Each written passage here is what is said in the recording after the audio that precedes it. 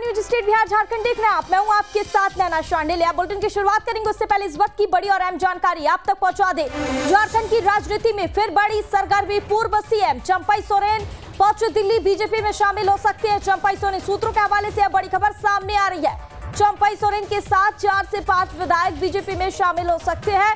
विधायक दशरथ गागराई बीजेपी में शामिल हो सकते हैं। रामदास सोरेन चमरा लिंडा भी हो सकते हैं बीजेपी में शामिल। इस वक्त की बड़ी और अहम जानकारी, पूर्व सीएम चंपई सोरेन दिल्ली पहुँच गए हैं।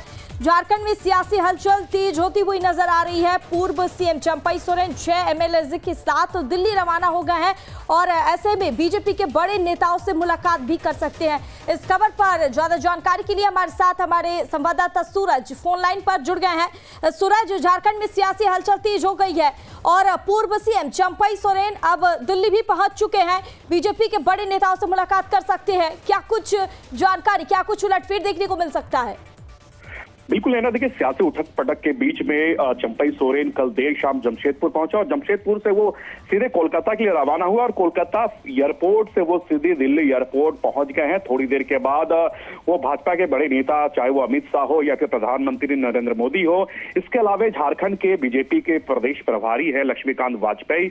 इसके अलावा चुनाव प्रभारी शिवराज सिंह चौहान से मुलाकात करेंगे। संभवतः तीन बजे के आसपास बीजेपी के केंद्रीय कार्यालय में भाजपा की सदस्यता ग्रहण कर सकते हैं। और हालाँकि चंपई सोरेन के साथ साथ जो नाराज़ विधायक है झारखंड मुक्ति मोर्चा के चाहे वो चमरा लिंडा की बात कर ले या फिर लॉबिन हेम्ब्रम की बात कर ले हम्म। ये विधायक भी चंपई सोरेन के साथ इसके अलावा कहा यह जा रहा कि लगभग चार से पाँच और विधायक यानी लगभग आधे दर्जन विधायक चंपई सोरेन के संपर्क में है और ये सभी सूत्रों के हवाले से जो खबर आ रही है लगभग चंपई सोरेन के साथ छह से सात विधायक भाजपा का दामन थाम सकते हैं हालाँकि इन हम्म। विधायकों की अगर बात करें तो कुल्हान से कुछ विधायक है और संताल से कुछ विधायक है यानी जो जेएमएन की वोट बैंक है, वो पूरी तरह से खत्म हो सकती है, क्योंकि वोट बैंक जेएमएन की सबसे ज़्यादा कोल्हान और संथाल में यही दो वोट बैंक से झारखंड मुक्ति मोर्चा चुनाव जीता करता है। और ऐसी स्थिति में अगर कोल्हान और संथाल के अगर विधायक बीजेपी में शामिल हो सकते हैं तो सरकार गिर सकते यानी सरकार अल्पमत में आ सकती है। यानी चंपई सोरेन की भाजपा में जाने के बाद मुख्यमंत्री हेमंत सोरेन की चिंता बढ़ चुकी है। झारखंड की जो सियासी पारा है, वो अब दिल्ली शिफ्ट हो गई है। कल आपने देखा कि देर शाम चंपई सोरेन ने मीडिया के सवालों का जवाब देते हुए कहा कि ऐसी कोई बात नहीं है, लेकिन रात में ही चंपई सोरेन कोलकाता के लिए रवाना हो गए और फ़िलहाल अब दिल्ली पहुँच चुके हैं। तो जो कयासों का जो हम्म। बाज़ार गर्म था अब उस पर विराम लग सकती है। कहा यह जा रहा है कि तीन बजे भाजपा के दिग्गज नेताओं के समक्ष चंपई सोरेन कुछ विधायकों के साथ भाजपा का दामन थामेंगे। हालाँकि देखिए सियासी उठापटक के बीच हम्म। जो राजनीति है वो दिल्ली शिफ्ट हो चुकी है। लेकिन अब झारखंड की जो राजनीति पारा है वो पूरी तरह से सातवें आसमान पर है। मुख्यमंत्री हेमंत सोरेन फ़िलहाल थोड़ी देर के बाद उनका पाकुड़ का दौरा है। पाकुड़ दौरा शायद उनका टल भी सकता है क्योंकि जो स्थितियाँ अभी झारखंड में उत्पन्न हुई है। ऐसे हम्म। में सरकार की चिंता बढ़ा दी है। सरकार झारखंड की जो झारखंड के हेमंत सोरेन की सरकार है वो अल्पमत में आ सकती है। कहा यह जा रहा है कि सरकार गिर भी सकते हैं प्रेसिडेंट रूल भी लग सकती है। तो कई कयासों का जो बाज़ार हुआ बिल्कुल गर्म हाँ, है। कोई कह रहे हो रहा है। और सूरज ऐसे में आपने भी जिस तरह से बताया कि लगातार सियासी उठा पटक भी देखने को मिल रहा है।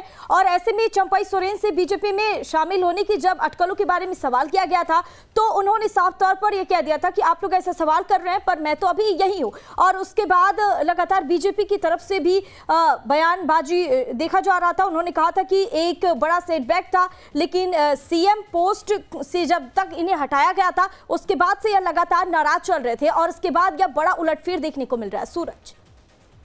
देखिए ना कुछ दिन पहले मुझसे यानी हमसे चंपई सोरेन के टेलीफोनिक बात हुई थी। हमने पूछा था कि दादा आपके नाराज़गी का वजह क्या है? तो उन्होंने साफ़ कहा कि जो हमें पार्टी से सम्मान मिलना चाहिए था मुख्यमंत्री पद से हटाए जाने के बाद मुझे वो हम्म। सम्मान नहीं मिल रही थी। अगर हेमंत सोरेन को मुख्यमंत्री बनना था तो इसमें कोई जल्दबाजी नहीं होनी चाहिए थी। हालाँकि देखिए नाराज़गी उसमें एक पॉइंट अगर हम बात करें तो आपने देखा था कि चंपई सोरेन को जब मुख्यमंत्री पद से हटाया गया था तो ठीक दो सितंबर को माफ़ कीजिएगा दो जुलाई को मुख्यमंत्री चंपई सोरेन के हाथों लगभग 1500 शिक्षकों के बीच नियुक्ति पत्र बांटी थी। उनकी होर्डिंग पूरे शहरों में लग गई थी। पंडाल बन गए थे स्टेज बन गए थे लेकिन एन वक्त उन्हें बांटने से मना कर दिया गया।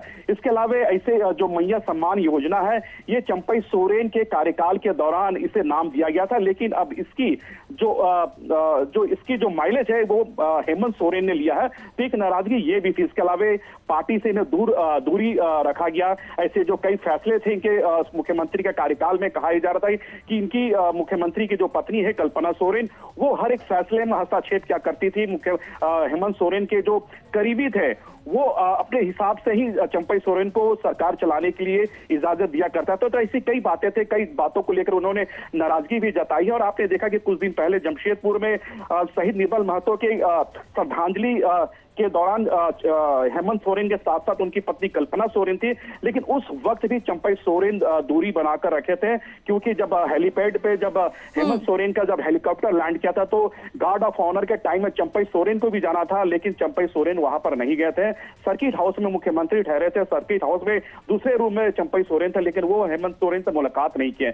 यानी नाराज़गी साफ़ तौर पर देखने को मिल रही थी और उस समय से लगातार ये कयास था कि मुख्य चंपई सोरेन भाजपा का दामन थाम सकते हैं और आपने देखा कि विश्व हेमंता विश्व शर्मा लगातार झारखंड के दौरे पे है और उनसे जब भी मीडिया के लोग जब सवाल करते थे हेमंत विश्व शर्मा से तो वो चंपई सोरेन के पाँच महीने का कार्यकाल की वो तारीफ़ करते नज़र आए। इनफैक्ट कल भी आपने देखा कि चंपई सोरेन की तारीफ़ करते हुए नज़र आए।